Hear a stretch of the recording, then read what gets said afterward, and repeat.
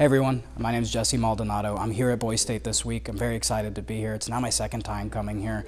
Um, I didn't get to come when I was in high school, and I really encourage you to come while you were in high school. I took a different path and ended up becoming a, very young city councilor. I was elected when I was 18 and got to serve in government for four years uh, in the city of Lewiston. It was a fantastic experience, but I did it without Boys State, but I can't imagine what I would have been able to do even more had I come to Boys State. It's an amazing opportunity for you to get an upper hand in government and in politics and really understand how things operate and how you best can be involved in government and politics moving forward in your life.